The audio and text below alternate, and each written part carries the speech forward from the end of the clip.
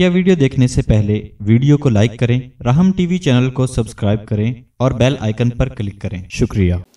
आज हम बात करेंगे सोबत औलिया के तहत हज़रत यजीद बुस्तामी अलैह के वाक़े पर।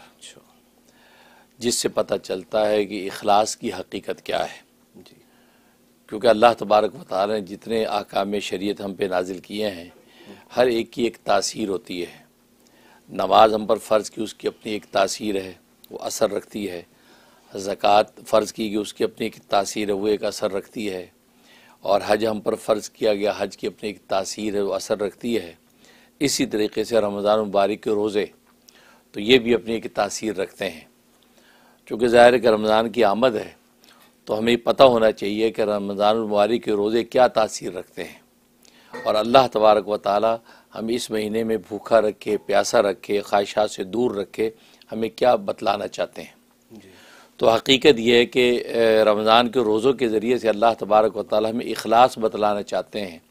और अखलास जो है वो तमाम अमाल शरीत की रूह है। और आप जानते हैं अगर रूह ना हो तो जिसम बेकार है। तो गोया कि अखलास जो है वो तमाम इवन के नमाज़ है ज़क़़त है हज है और जितने भी अमाल शरीत और अखलाक हैं उनकी बुनियाद जो है वो अखलास पर है। अखलास की रूह अगर उनके अंदर है तो वो ज़िंदा भी हैं और अल्लाह तबारक व ताली के यहाँ वो पहुँचते भी हैं। तो रमज़ान के इस मुख्तर महीने में उनतीस तीस दिन के अंदर जो एक इंटेंसिव कोर्स गोया कि अखलास पर कराया जाता है कि बंदा जो अखलास की हकीकत को पहुँच जाए। वरना इबादत तो समथिंग का नाम है, नथिंग का नाम नहीं है। क्योंकि इबादत का मतलब किसी चीज़ को करके आप दिखाएँ। अब नमाज़ में आप जो एक वजूदी जो एक कैफियत पेश करते हैं तो ये इबादत है। ज़क़़त में आप एक वजूदी कैफियत पेश करते हैं ये इबादत है। हज में एक वजूदी कैफियत पेश करते हैं। लेकिन रोज़े के अंदर आप आदमी कैफियत पेश करते हैं कि ना खाना ना पीना ना ख्वाहिश को पूरी करना। तो नथिंग का नाम जो अल्लाह तबारक व ने इबादत रखा है। हम्म, तो असल में इस नथिंग के अंदर ही अल्लाह तबारक व ने अखलास की हकीकत बतलाई है कि अखलास क्या चीज़ है। यानी किसी अमल को खालिश कर लेना किसके लिए? अल्लाह के लिए। अल्लाह के लिए खालिश कर लिया तो ये अखलास अल्लाह तबारक व ताली के मोतबर है और ये काबिल अजर है। अगर अगर जो है उस अमल को खालिश शैतान के लिए कर लिया तो वो भी अखलास के साथ होगा, लेकिन वो अखलास शैतान के लिए होगा, वो खालिश शैतान के लिए अमल है यह इंसान के अपने नफ्स के लिए अमल है। तो लिहाजा जो है वो काबिल अजर भी नहीं, बल्कि काबिल गिरफ्त होता है।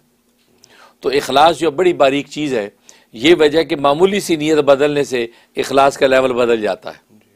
यहाँ तक कि ज़बान से अगर इजहार किया लेकिन इजहार करने के अंदर जो है रिया की नीयत है तो वो जो अखलास जो है वो आपका रिया में बदल जाता है। लेकिन इजहार करने में रिया की नीयत नहीं इजहार करने में रिया रज़ा की नीयत है तो वही जो इजहार आपके लिए काबिल अजर बन जाता है। क्योंकि वो जो इजहार है वो रिया नहीं बनता तरगीब बन जाता है। कि आप अपने ताजुद का ज़िक्र इसलिए कर रहे हैं लेकिन सच्ची नीयत से कर रहे हैं ताकि सुनने वालों को तरगीब हो। ये भी ताजुद के लिए हिम्मत करें कि मेरे जैसा आदमी अगर ताजुद पढ़ सकता है तो ये लोग सोचते यार हम क्यों नहीं पढ़ सकते? तो ये इजहार तो हमेशा इजहार रिया नहीं होता। बसौकत बाज इजहार रज़ा होते हैं लेकिन उसका नीयत पर ताल्लुक़ है। और नीयत ना नज़र आने वाली चीज़ है। तो रोज़ा भी अल्लाह तबारक व ऐसा रखा है कि वो भी एक ना नज़र आने वाली चीज़ है कि वहाँ कुछ नज़र नहीं आता। यहाँ तक कि उसके अंदर इजहार भी करे कि मैं रोज़ेदार हूँ तो ये कोई प्रूफ नहीं है कि वो रोज़ेदार है। या ज़बान से कि मैं रोज़ेदार नहीं हूँ तो इस पर यह कोई प्रूफ नहीं है कि वो रोज़ेदार नहीं है। क्योंकि वो एक ऐसी छुपी हुई चीज़ का नाम है, क्योंकि रोज़ा असल में नीयत का नाम है। आपने कल्ब के अंदर आपने ना खाने, ना पीने और ख्वाहिशात को ना पूरे करने के लिए अल्लाह की रज़ा की खातिर नीयत कर ली है। जब ये नीयत पुख्ता आपने कर ली तो बज़ाहिर अगर आप खा भी रहे हैं भूले से भूले से अगर पी भी रहे हैं तो रोज़ा आपका टूटता नहीं है, क्योंकि आप जो खा रहे हैं, ये भूले से खा रहे हैं, और अंदर जो आपने कल में नीयत मुतन की, वो पुख्ता अभी तक ना खाने की है। और नीयत जो पुख्ता की है, उसी का नाम रोज़ा है। तो देखिए, अमल वजूदी अब सामने आ गया एक नकज वारिद हो रहा है, नकीस सामने आ रही कि आप खा रहे हैं, पी रहे हैं। रोज़ा फिर भी नहीं टूट रहा। इसका मतलब ये निशान भूले भूल के आप खा रहे हैं लेकिन असल जो नीयत आपकी कायम है। तो इसलिए रोज़ा जो है ये अखलास की ऐसी तालीम है कि ऐसी कोई तालीम नहीं है। ये वजह कि सूफिया इकराम सूफिया इकराम की ज़िंदगी और उनकी तरबियतों में भी सबसे बुनियादी जो कदम है वो रोज़ा है।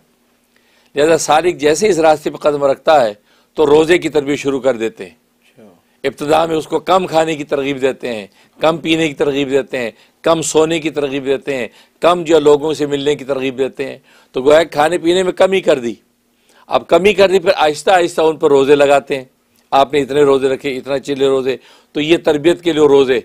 तो मालूम ये हुआ कि ये जो रोज़ा है, जो मेरे फ़र्ज़ रोज़ा और रमज़ान का, या नवाफिल रोज़े हैं, जो खानकाहों के अंदर सूफिया कराम ये सब रोज़े अखलास की तालीम देते हैं, और अखलास के बाद कोई अमल अमल नहीं है।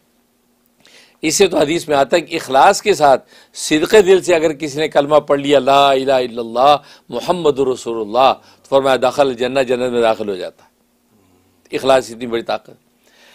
एक वाक़ पेश करता हूँ बाईज बुस्तामी का, उससे आपको अंदाज़ा होगा कि ये कितनी बारीक चीज़ है।